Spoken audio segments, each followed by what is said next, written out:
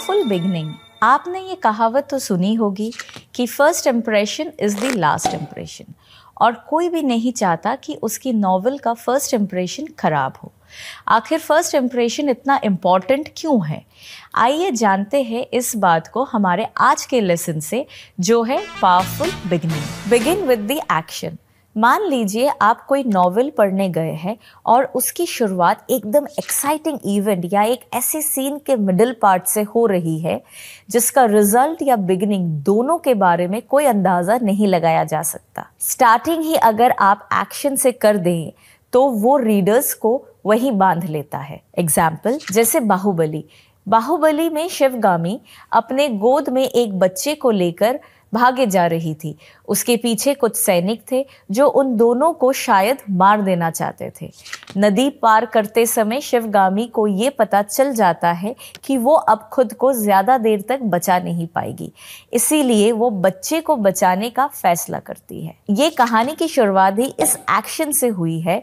ना इस एक्शन से पहले कैरेक्टर्स के बारे में कोई जानकारी दी गई, ना ही उनके अपने जान को बचाकर भागने की वजह बताई गई। डायरेक्ट स्टोरी को एक एक्शन से स्टार्ट किया गया। इसी तरह आपको भी एक ऐसे एक्शन से कहानी लिखनी है, जिसे पढ़ने के बाद लगे हाँ कहानी में दम है। यूज़ स्ट्रॉन्ग डिस्क्रिप्टिव लैंग्वेज किसी भी कहानी को बेहतरीन बनाने के लिए उसकी लैंग्वेज को रीडर से कनेक्ट करवाना ज़रूरी होता है। जैसे आप अपने लीड कैरेक्टर्स के इमोशन और उनके एक्सप्रेशंस को जितना अच्छे से डिस्क्राइब करेंगे, लोग उतने अच्छे से सीन को इमेजिन कर पाएँगे। जैसे अभी आपका कैरेक्टर किस तरह बैठा हुआ है, उसका बॉडी लैंग्वेज कैसा है, वो कैसे चलता है, कैसे बातें करता है, कैसे मुस्कुराता है उसकी अदा, उसके मूवमेंट्स कैसे है, या किसी जगह को अच्छे तरह से डिस्क्राइब कर बताना। ये आप जितना क्लियरली बताते हैं, चाहे एक्शन के थ्रू या नरेशन के थ्रू उतना लोग आपके कहानी को अच्छी तरह से विजुअलाइज कर पाते हैं। एग्ज़ाम्पल आप सभी ने पॉकेट नॉवेल की फ़ेमस स्टोरी काशी एक प्रेम कहानी पढ़ी होगी। बनारस शहर, अस्सी घाट, सुबह का वक्त। इस तरह से आपको अपनी कहानी को डिस्क्राइब करना है। जिसे रीडर्स को पढ़ते समय कब, कहाँ, कैसे, क्या हो रहा है, इसके बारे में पता चल सके।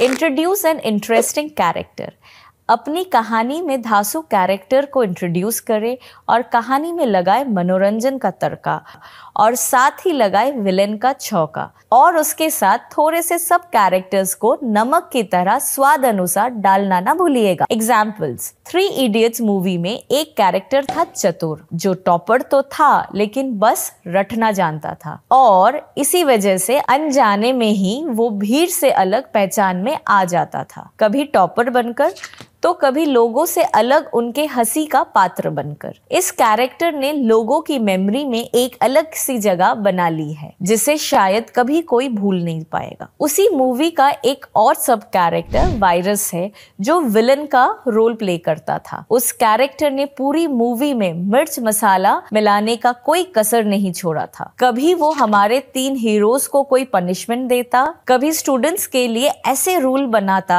जो स्टूडेंट्स के हित में भी नहीं होता। कभी वो स्टूडेंट्स की नादानी को माफ़ करने की वजह उन्हें कॉलेज से रेस्टिकेट कर देता था। कभी वो करियर बनाने के लिए लंबी लंबी स्पीच देता था और कभी यंगस्टर्स के सपनों को तोड़ने का काम करता था। यूज़ अ हुक कहानी की शुरुआत ही अगर आप सस्पेंस या किसी हुक से करते हैं तो रीडर्स में स्टार्टिंग से ही क्यूरोसिटी बिल्ड हो जाता है। और इस वजह से वो अंत तक आपके पूरे कहानी को पढ़ते हैं। पर याद रहे हुक ऐसा होना चाहिए जो आपके कहानी के मेन कॉन्फ्लिक्ट से जुड़ा हो। जैसे बाहुबली में शिवगामी और उसके पीछे गुंडों का होना, और फिर शिवगामी का अपनी जान देकर उस बच्चे को बचाना और उसका भारी भरकम डायलॉग बाहुबली को जीना होगा। ये कहानी की शुरुआत में बहुत बड़ा सस्पेंस और हुक क्रिएट करता है कि वो बच्चा कोई आम इंसान नहीं है, और इसी से कहानी का मेन कॉन्फ्लिक्ट भी सामने आ जाता है। इसी तरह आपको भी कहानी की शुरुआत में ही ऐसा कुछ सस्पेंस क्रिएट करना होगा, जिससे लोग अपने सवालों के जवाब ढूँढने के लिए आपकी कहानी को पूरा पढ़े।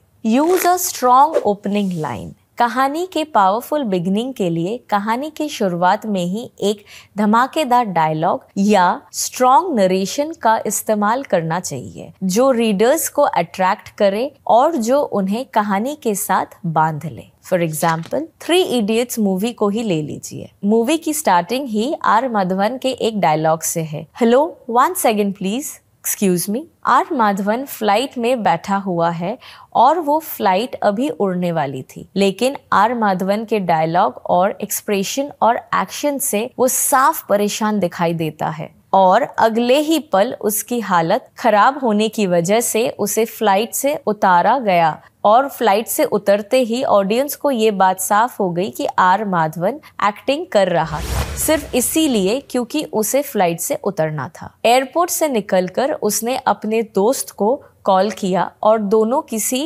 रैंचो से मिलने के लिए निकल पड़े। कहानी का मेन मोटिव फ्रेंडशिप है, जो हमें मूवी के स्टार्टिंग के दो मिनट में ही पता चल गया।